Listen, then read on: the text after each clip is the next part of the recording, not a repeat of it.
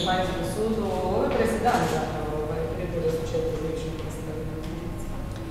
Da li je presedan? Možda je presedan, možda je tek početak e, kraja. E, dobra vijest je s jedne strane da postupak ide dalje, ali meni se čini da mi zapravo nismo saznali ništa novo što već o HDZ-u i o HDZ-ovom modelu vladanja nismo znali do sada.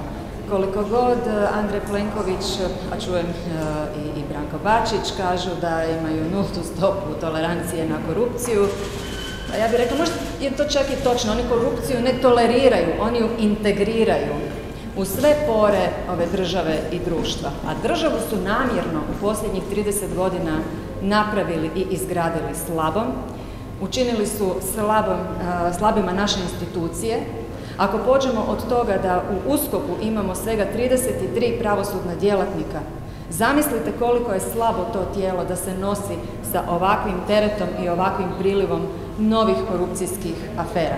A što se tiče prevencije korupcije, kao one prve brane koje bi trebala spriječiti da do novih korupcijskih slučajeva uopće i dođe, vidimo što se dešava sa Povjerenstvom za odlučivanje o sukobu interesa. Dakle, zapravo znači da vi ne očekujete od ovih optužnica očekujem da će manje više proći e, kroz iste dječje bolesti svih ostalih kaznenih postupaka e, povodom teških korupcijskih afera, to znači da će postupci trajati dugo i da je upitno e, hoće li doći do osuđujućih presuda, neovisno o tome što je do kaznenog dijela zapravo možda ipak i došlo.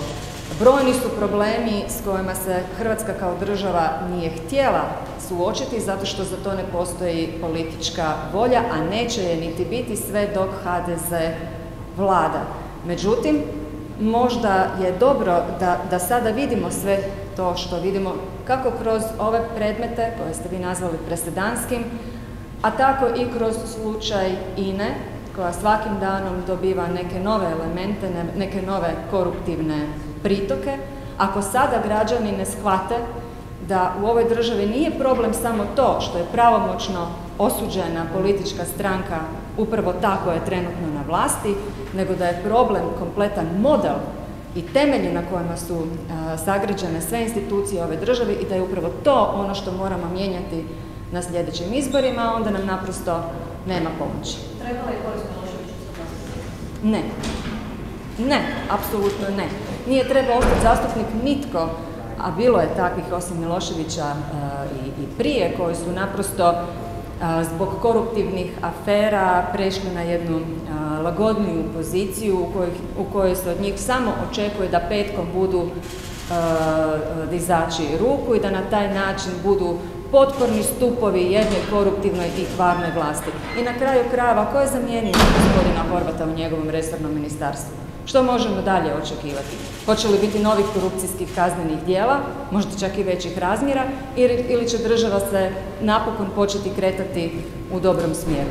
Ovo drugo ne očekujem sve dok je HDZ na vlasti. E, evo danas ove optužnice, ove četiri osobe, tri HDZ-ovca, Gdje sam li rekla? Kaže Branko Bačić da oni e, ne toleriraju korupciju, jel tako? To je točno, ajde da je jednom Branko Bačić u pravu. Oni korupciju integriraju u sve pore države i društva.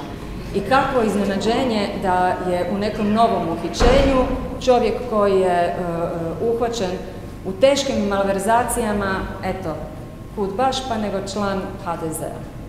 Čudo bi bilo da nije.